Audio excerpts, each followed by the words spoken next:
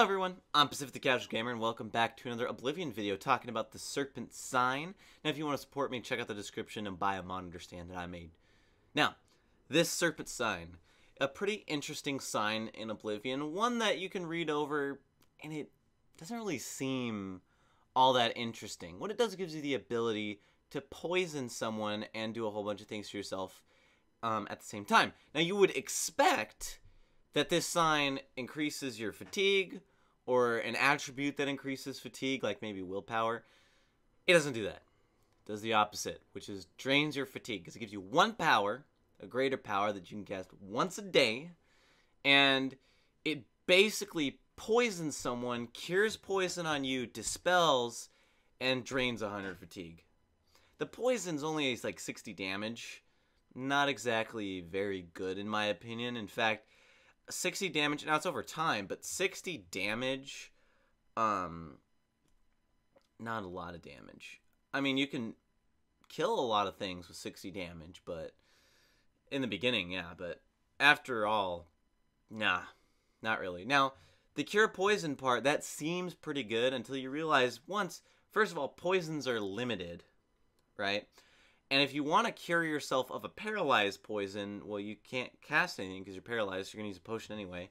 And most poisons can just be counteracted by healing yourself with a potion or just getting out of the dungeon and going and praying and getting rid of all the things. Like that's all that's all you really got to do.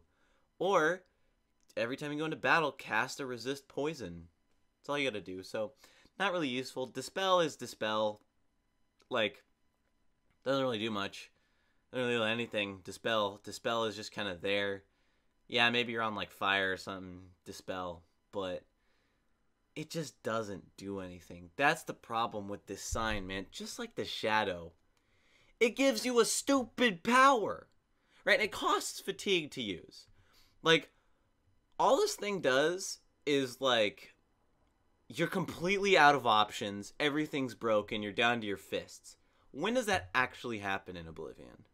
Right? That's what I want to know. Because most people either carry around repair hammers or loot enough stuff to sell stuff and repair your stuff in the first place. And no one has like full disintegrate armor stuff on. Like that just does not happen. So I really don't see the usefulness of the serpent at all.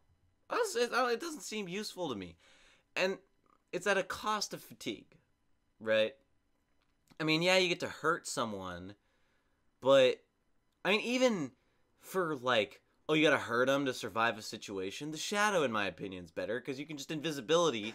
You have a minute of invisibility. You can get far, far away from that situation. This one, you have to like get the guy and wait. I mean, yeah, I guess if you're poisoned and you're losing health, yeah, but you find cure poison potions all the time. So, my opinion on this sign useless. It doesn't even increase your fatigue, it decreases it. That's all I gotta say about it. It's a useless sign. Thank you for watching. If you enjoyed, you can tell me in the comments below. Subscribe for more Oblivion videos. I'm Pacific the Casual Gamer. I suck just as bad as you do at video games. And I will see you in the next episode streamer, vlog, or sign video of whatever I decide to make.